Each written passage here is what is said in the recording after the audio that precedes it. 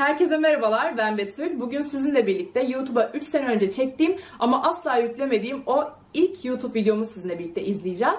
İlk defa diyorum yani sizinle birlikte izleyeceğim diyorum çünkü bu videoyu bilgisayarımın yedeklenmiş dosyalar köşesinde buldum. E, ve dedim ki ben bunu direkt takipçilerimle birlikte izlemeliyim ve ilk tepkimi orada vermeliyim. Videoda neler bahsettiğim hakkında hiçbir fikrim yok ama bu videoyu çektiğim günü hatırlıyorum. Saçım falan aşırı değişik. Bakalım neler söyleyeceğim. Başlayalım. Herkese yeniden merhaba. Bugün sizlere çok sık sorusunu aldığım, Gerçekten çok sık sorusunu almışsındır eminim. benim hangi ürünü kullandığım ve benim yeni e, makyaj yapmaya başlayanlar için tavsiye edeceğim ürünleri bugün size göstereceğim. Göstereceğim. Kibarlıktan kırılacağım yani. Ay gerçekten insanın konuşması zamanla ne kadar değişiyor ya. İlk olarak yüz makyajına kullandığım ürünleri size göstereceğim. Bekliyoruz. Baz olarak Nivea Men'in bu Aftershave balzamını ben kullanıyorum. Evet o zamanlar bu çok popülerdi. Nikki Tutorials çıkarmıştı. E, herkes baz olarak bu üründen kullanıyordu. Ben de ondan kullanmışım. Ben ilaç kullandığım için yüzüm fazla kuru. Ay o zamanlar da ilaç kullanıyormuşum. Ben bu ilaçtan ne çekmişim ya? Ee, ama yağ ciltlerde bu nasıl durur bilmiyorum. Şu an yüzümün aydınlık kalmasını sağlayan ürün bu. Aftershave balzam. Ama yine de herkes çok memnun kaldığı için bence e, sorun yaratacağını düşünmüyorum yağlı ciltlerde. Çok kanser edici bir video çünkü 40 saat konuşamıyorum. Takıldığım yerleri kırpmamışım. Bakalım ben bu videoya daha bir 7 dakika nasıl dayanacağım? Çok az da olsa yüzümde lekeler var ve hani burada makyaj yaptığımdan dolayı oluşan e, pütürlükler var. L'Oreal Paris'in bu True Match isimli fondöteni hem çok yoğun kapatıcılık özelliğine sahip ama yine de sıvı bir fondöten yani ince bir fondöten gibi görünüyor. Ben normalde e, hiç renk tonu bulamam fondötenlerde ama bunun renk skası bayağı geniş olduğundan kolaylıkla bulabildim. Bu favori favori fondöten. Yani karşımdaki insanlara gülümsemekle gülümsememek arasında kalmışım. Şu- bazen böyle konuşuyorum normal. Bu benim favori fondötenim. Çünkü çok ince. Bak dikkat edin gerçekten öyle yapıyorum ya. 3 numara olarak yüzümü hangi ürünle aydınlattığımı çok merak ediyorsunuz. Hani sürekli soranlar oluyor bu yüzün nasıl hangi highlighterla aydınlık görünüyor. Öncelikle bunun fiyatı çok çok em, uygun olmasa da ben bu The Balmain Mary Luminizer isimli aydınlatıcısını kullanıyorum. Zaten çok e, meşhur bir highlighter. Ülkemizdeki en iyi highlighterlardan birisi yani. Bu zaten Türkiye'de çok bir highlighter seçeneğimiz yok. Yine de ben bunu bu fırçayla uyguluyorum. Ama yine de diyorsunuz ki hani bu Arkadaki müzik sesi öyle bir başımı ağrıttı ki klasik iMovie'nin e, seçilmiş müziklerindendir bu zaten. Ay tıs, tıs, tıs, arkada ya ne anlatıyorsun sanki ya? Klasik bir müzik olsun değil mi? Sade bir müzik olsun. O zamanlar da Merlo yine uygun fiyatlı değilmiş ama şimdi fiyatı bayağı yükseldi. Önceden bir 32 lira falandı herhalde ben aldığımda. Bu fiyat bana fazla geliyor. Pastelim bu.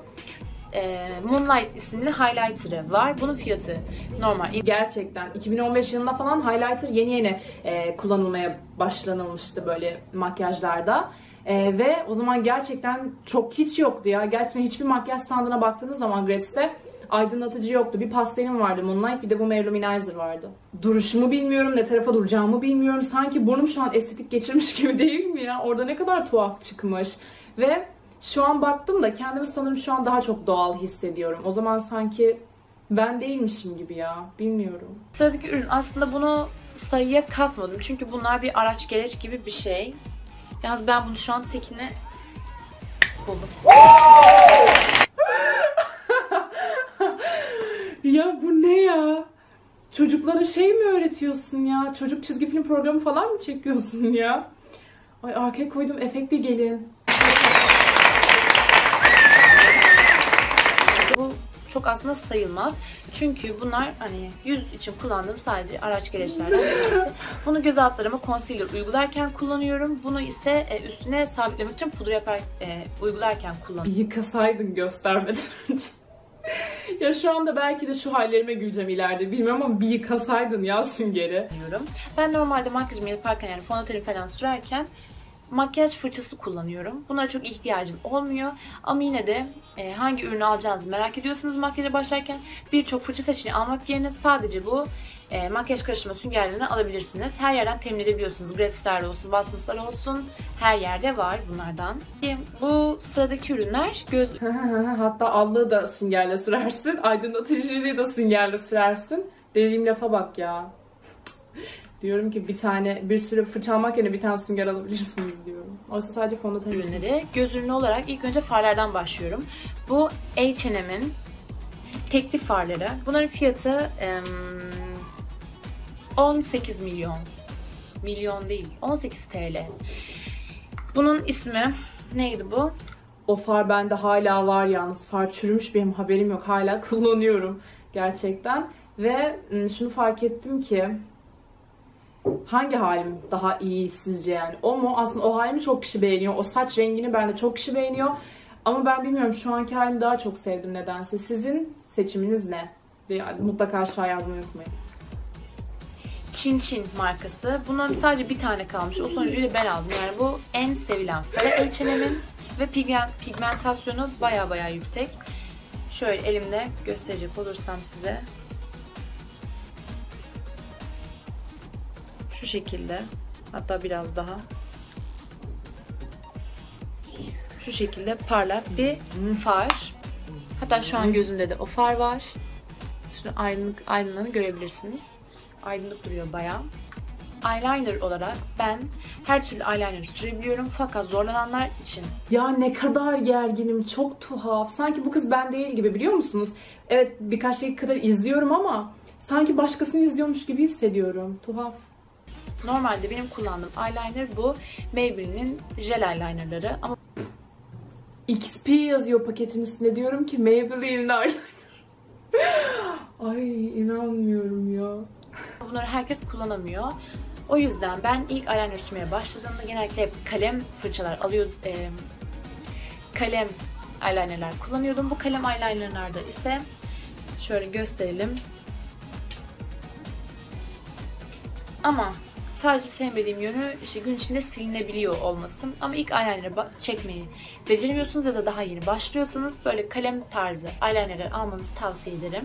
Ardından kaşları doldurmak için kaşları yine bu şu şekilde Bak ben bu kaş kalemine bayılıyordum. Şu anda da olsa kullanırım. AliExpress'ten söylüyordum. Fiyatı 1.2 1.25 falandı. Ve bayağı iyiydi ya arkası fırça falan. Bak o zaman onlardan bittikçe sipariş ediyordum ben. Bayağı iyiydi. Sonra niye etmedim bilmiyorum. Gelmedi herhalde. Gelmemeye başladı. Çok güzeldi.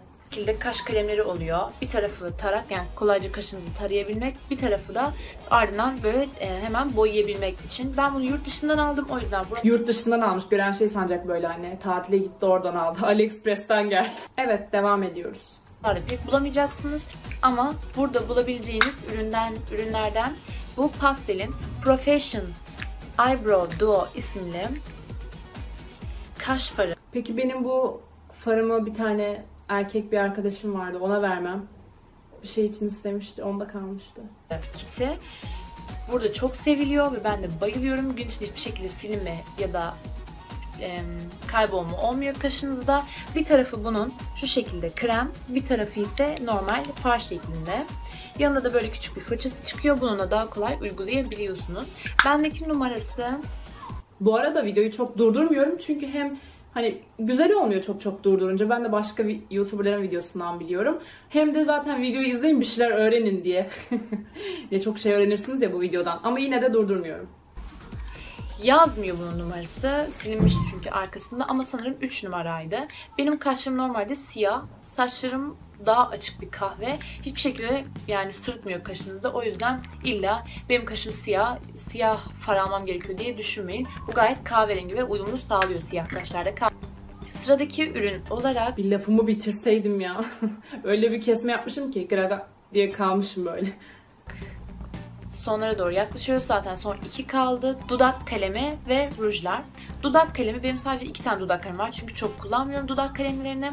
Bunlar da MAC'in Spice serisinden 202 ve 609 isimli kalemler. Spice serisi mi? Belki e, Dudak kaleminin adı Spice'dır ha. Ama bilmiyorum yine sen daha iyi bilirsin de Old Betül. yine böyle bir tavsiye vereyim istedim. Bunun numarasına bakacağım şimdi hemen. 202 numaralıydı bu. Aslında burada biraz pembemsi çıkıyor ama o kadar değil. Bu da 609 numaralı kalemi. Bunları hem ruj olarak da kullanabiliyorsunuz çünkü bütün dudağınıza rahat bir şekilde yayılabiliyor. Ben ruj olarak genellikle likit rujlar kullanmayı seviyorum. Likit rujlarda şurada birkaçını getirebilirim sadece. Gördüğünüz gibi zaten hep aynı tonlarda likit ruj kullanıyorum. Bu rujlardan, e, ba- şu, bunların çoğu yurt dışından gelme. İşte bu lip lime kremler olsun, Anastasia Beverly Hills'in AliExpress. rujları olsun. Onlardan hariç benim e, Türkiye'de bulabileceğiniz Efekte gel. Resmen şey diye kullanmışım. Efekt olarak ne kullanabilirim? Türkiye'de bulabileceğiniz olarak pastelin bu Daylong rujları var. Bende şu an bunların iki rengi var sadece. Bunlardan bir tanesi benim günlük makyajımda her gün kullandığım ürünlerden bir tanesi. Bu. Bu sefer elimin artık yani çizecek yer kalmadı. Şöyle göstereceğim. Şu şekilde. Şu 15 numaralı. Tekrar göstereceğim. Bu 15 numara. Ben bunu her gün kullanıyorum. Bu sıradaki ise şekilde şuraya gösterelim. Kırmızı alt tonu duruyor ama aslında bu dudağa sürdüğünüz anda kahverengi bir görüntüsü oluyor. Kırmızı alt tonu duruyormuş, dudakta kahverengi oluyormuş. Bordo ruj bildiğiniz. Hala var bende bordo yani. Bu ikisi gün boyu gerçekten dudağınızda kalıyorlar. Ama dediğim gibi bu 15 numara. Çok her yerde bulunmuyor gerçekten. Bunların normal fiyatları 21 TL ama indirim olunca 18,5 TL civarına geliyor. Ama yani arasında çok fark olmadığı için bence indirim beklemeye çok gerek olmuyor. Bugünlük size göstereceğim ürünler bu kadardı. Ee, bunlar size söylediğim ürünler uygun fiyatlı ürünler ve makyajın temelini oluşturan ürünler. Umarım size faydalı olmuştur. Beğenmeyi ve abone olmayı unutmayın ve yorumlarınızı aşağı bekliyorum. Bir sonraki videoda görüşmek üzere. Instagram'ı yazdığım yere bakar mısınız ya? Kesin çok e, beğeni ve like şey e, yorum gelmiştir bu videoya eminim. Bu videoyu çektiğimde daha muhtemelen YouTube kanalımı bile açmamış vaziyetteyimdir diye düşünüyorum. Şu an ise 70 bin olduk. Bunun için hepinize çok teşekkür ederim. E, hatta bu videoyu ben 70 bin özel diye yayınlamak istiyorum. E, umarım videoyu beğenmişsinizdir. Yani bu videoyu, izlediğim videoyu beğenmişsinizdir. Çünkü şuradaki videoyu beğenmenizin e, hiçbir imkanı yok diye düşünüyorum. Bu şekilde. Bugünlük videom bu kadardı. Ee, eğer bu videoya beğeni atarsanız benim videomun önerilenlere yani YouTube keşfete çıkmasına yardımcı olmuş olacaksınız. Hepinizi çok öpüyorum. Bir sonraki videomda görüşmek üzere. Kendinize iyi bakın. Hoşçakalın.